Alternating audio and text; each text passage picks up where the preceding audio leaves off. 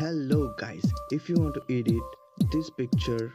like this in mobile lightroom let's start